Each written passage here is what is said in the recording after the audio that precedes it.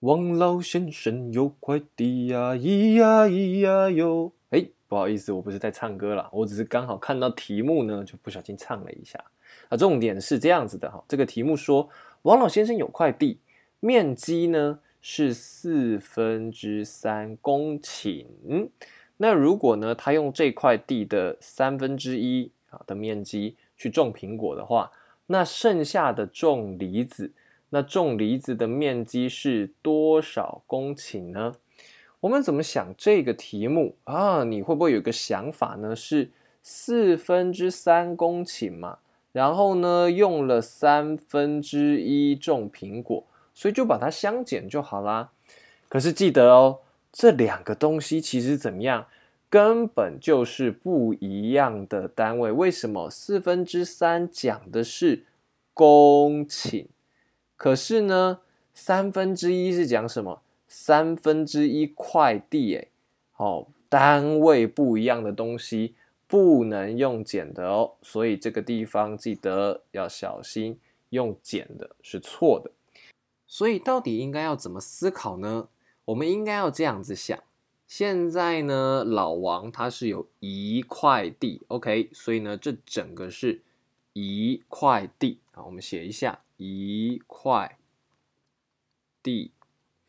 好，那。他说什么东西啊？三分之一块种苹果，所以我们这里写的很清楚，三分之一块呢种的是苹果，三分之一块是苹果。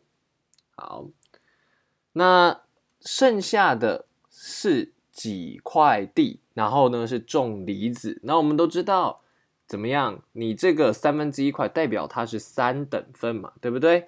三等份的结果，所以这里是几块地？这里是几块地呢？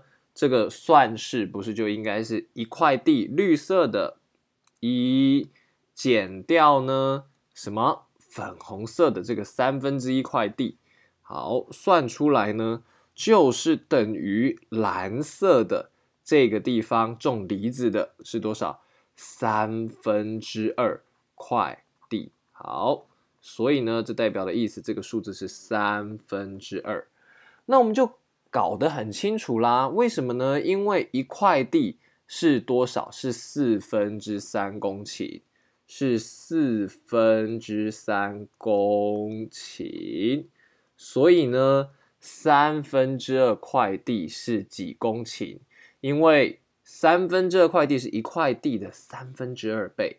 所以呢，你看哦。它的这个面积是不是就是四分之三公顷？